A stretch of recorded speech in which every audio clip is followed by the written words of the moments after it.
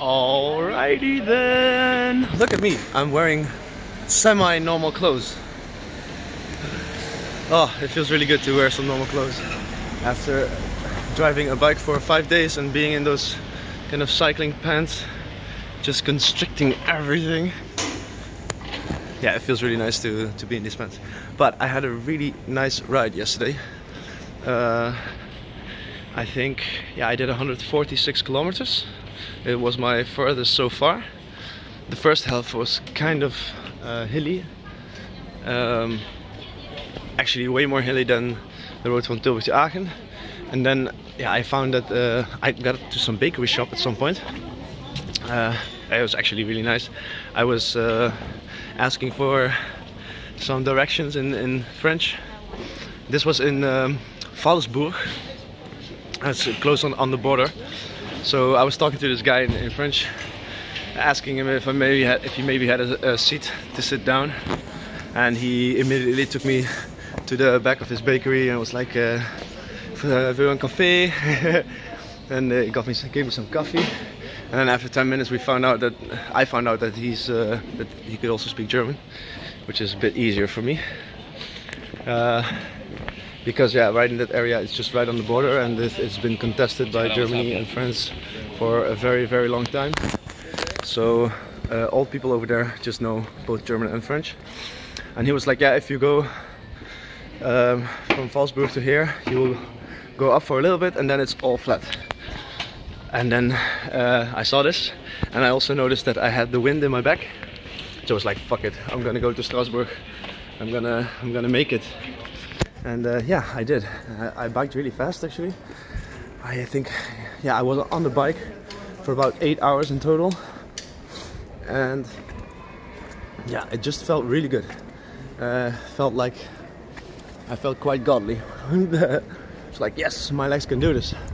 Okay, look, now I'm at the cathedral.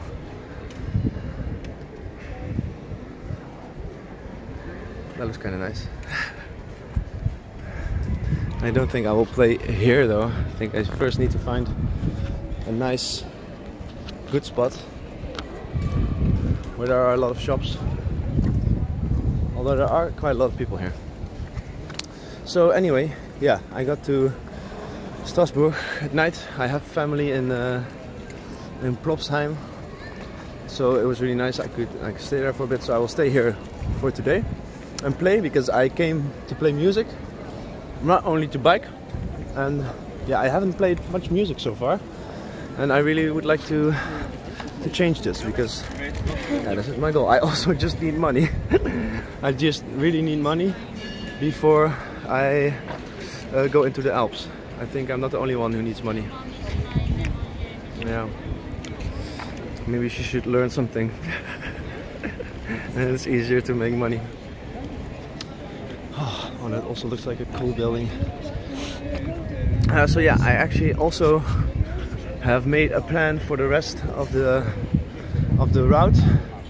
I think tomorrow I will go through to Basel. Look at this, this thing. Awesome. I will go through to Basel. It's only 120 kilometers from here and it's still all flat because it's the Rhine Valley. So I can just bike along the Rhine basically and yeah, just stay flat. And yeah, my legs are really used to flat stuff.